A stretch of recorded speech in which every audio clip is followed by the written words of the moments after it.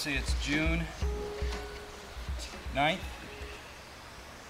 Got my TQR, Cabela's TQR rod here and an Irish jig and do a little smallmouth fishing. About got him wore out. Not bad for a little stream. Oh, it's a pretty heavy fish. That is